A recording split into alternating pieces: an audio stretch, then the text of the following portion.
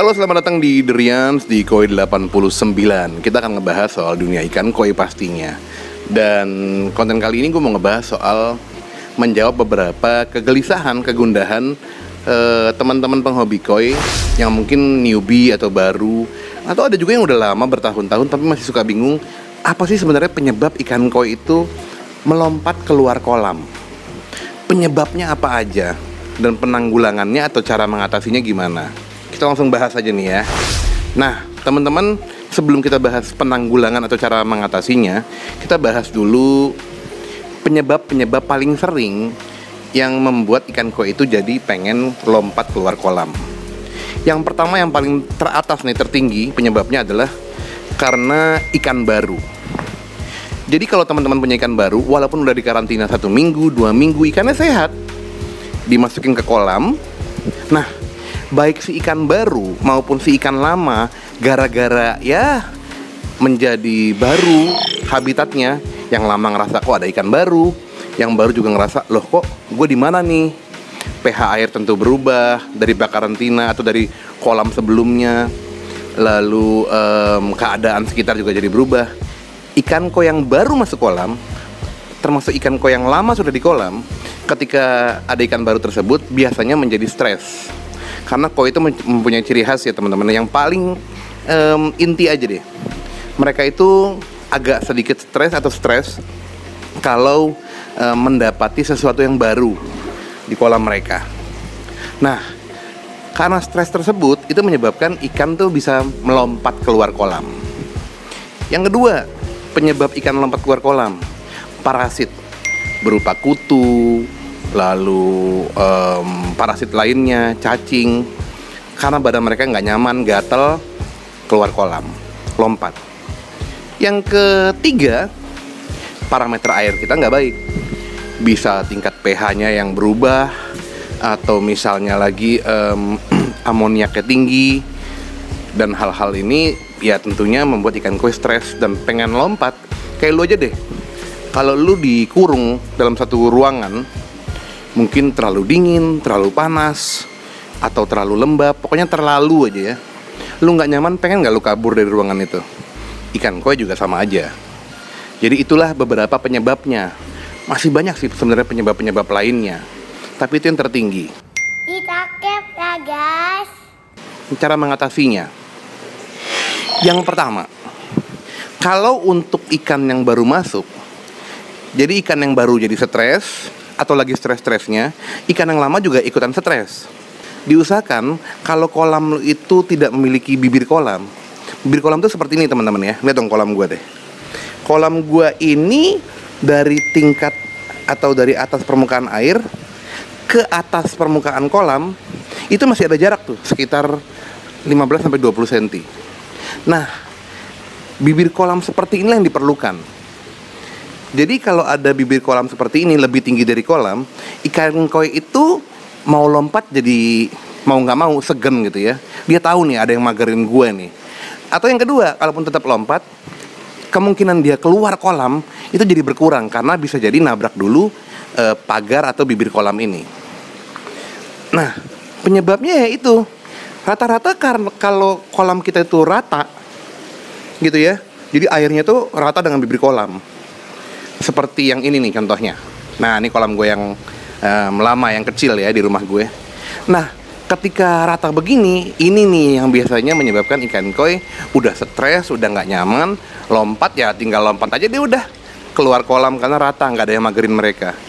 Nah, tipsnya adalah cara menanggulanginya, lu kurangin air kolam lu. Banyak banget nih di Facebook grup tentang penghobi koi yang DM gue, kenapa ya ikan gue lompat dan mati?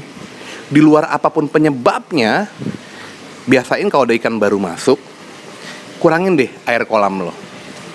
Ya, sekitar 15 sampai 20 cm ya. Jangan juga terlalu radikal, terlalu banyak. Berapa lama ya selamanya ya nggak perlu sih. Kalau menurut gue 2 sampai 3 minggu sampai sebulan tuh cukup.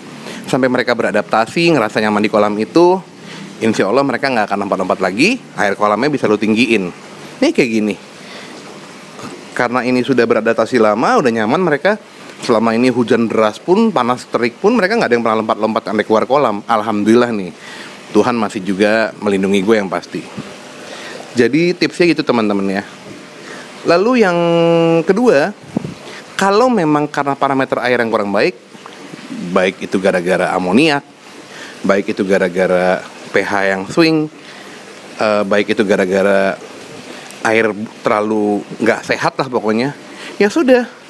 Lu bisa water changing mengurangkan air berapa persen apa 30 persen 40 persen lu isi air baru.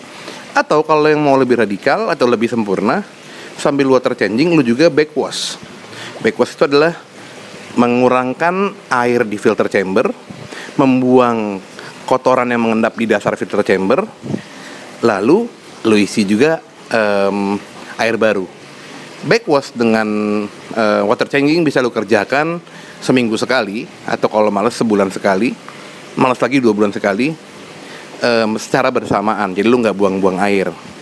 Kalau gue jujur seminggu sekali backwash lalu kalau water changing gue setiap hari ngurangin air kolam gue 10 sampai 20 persen. Makanya walaupun filter chamber gue menggunakan sistem konvensional tidak pakai rotary drum filter tapi insya Allah kalau soal hasilnya bisa lu adu. Bukan sombong nih tapi emang sombong.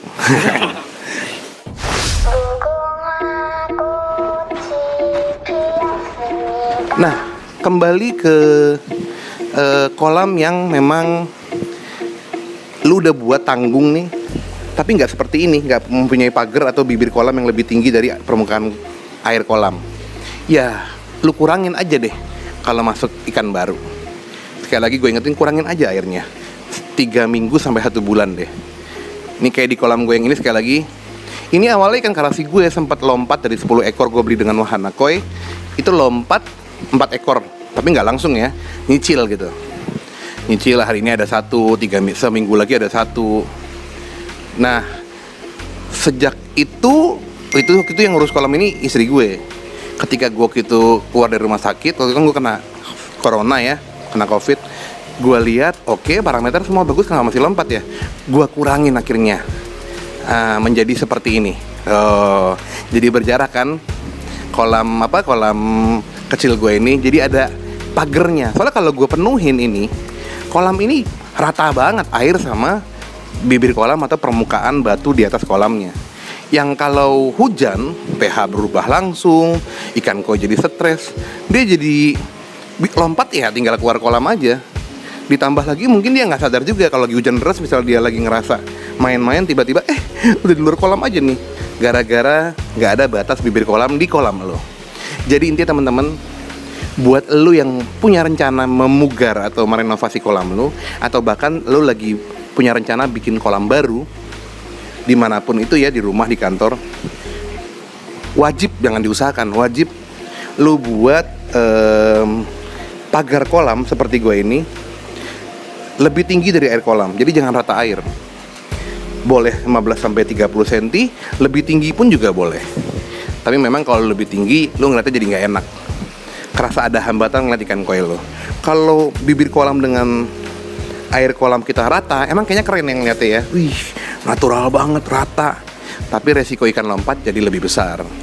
Gitu sih tips um, singkatnya karena banyak banget nih penghobi koi yang sering merasa kok ikan gue loncat penyebabnya udah gue sebutin cara penanggulangan juga udah gue sebutin intinya banyak banget penyebabnya sekali gue ulangin gue kasih kesimpulannya rangkumannya kalau ikan baru baru masuk kolam lo itu yang wajib lo waspadain yang kedua kalau hujan itu juga wajib lo waspadain makanya kalau hujan buru-buru deras nih ya ganti air berapa persen isi air baru.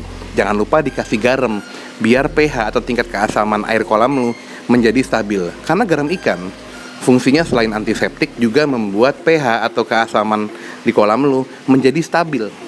Karena air hujan itu pH-nya terlalu tinggi atau terlalu rendah gitu. Bisa mengubah air kolam lu pH-nya secara drastis. Dan ikan koi kalau melihat atau merasakan pH itu berubah drastis bisa menjadi stres. Lompat dan koit. Itu teman-teman, thank you udah nontonin Derians di Koi 89 Ayo dong, bantu subscribe channel ini kalau emang lo ngerasa konten ini bermanfaat ilmunya buat lo dan menggembirakan hati lo. Tapi kalau lo nggak suka jangan, jangan di like, jangan di subscribe nggak apa-apa. Dan ada yang mau nanya soal ikan koi, soal clothing store punya gue, lo bisa follow Instagram gue dan nanya-nanya DM gue aja. Pasti gue jawab. Sehat-sehat semuanya. Salam Nisiki Goy, cheers baby. Assalamualaikum.